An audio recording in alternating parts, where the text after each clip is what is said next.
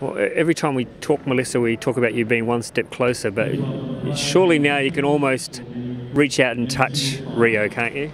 Uh, I think we're on the home straight now, so yeah, it's very close. Is it a relief? Do you feel a sense of relief now that you've, you've got this far? Uh, yeah, relief in the fact that I'm really happy that I performed when I wanted to perform and needed to, so that's definitely a relief. But yeah, just one last little hurdle and then um, yeah, it'll be really exciting. What's your What's your mood been like and your frame of mind since Tweed Heads, knowing this was coming up and what was at stake? What's it What's it been like for Melissa Tapper? Yeah, just sticking to. Oops, sorry.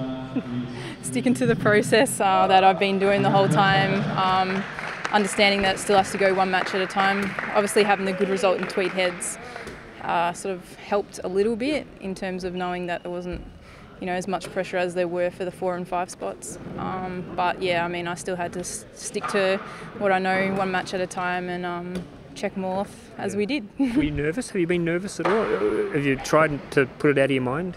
Oh yeah, I don't think you can get rid of nerves. I think you've got to accept it that that's what happens, and uh, obviously I try and manage it as best as I can. Sometimes I don't, sometimes I do, but uh, the whole aim is to try and keep it as uh, in the medium as much as possible, and um, yeah, can't complain.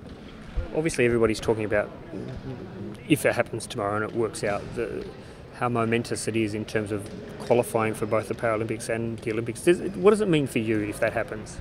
Uh, yeah, at this point in time, it's still speculation. It hasn't happened, but uh, you know, ask me that tomorrow, and um, I'll be more than happy is to. It, but is it something you, you think about much? The possibility that you could be doing both Olympics and, and what that would mean?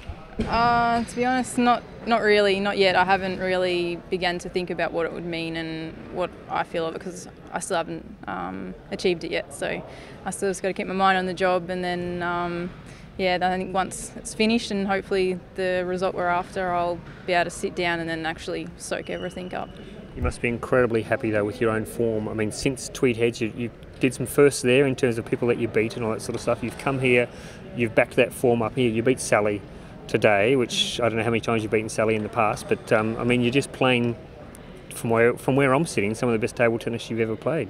Yeah, I'm definitely playing really well, and I'm I'm very happy about it. But you know, it's a credit to my whole team and everyone that I work with that have prepared me to get to here. And um, yeah, I think because everyone works so well together that yeah, we're putting the right things in place, and it's helping me to perform when it's required. Well, try and enjoy the moment tomorrow. I don't know how well you're going to be able to do that. I'm sure the butterflies will be going crazy, but uh, and I don't know that you'll sleep tonight. But um, well done, Millie, and I hope it all goes well for you tomorrow, and, and best of luck for the, the next few months. Awesome, thanks, Ross.